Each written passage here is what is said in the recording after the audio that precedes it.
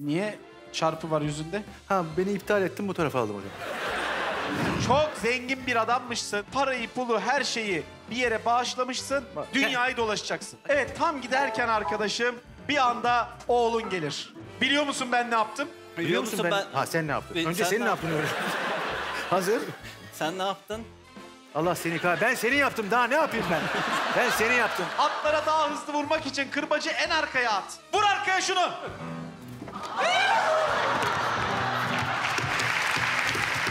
Şu anda bir kaktüsün üstünden geçiyorsunuz.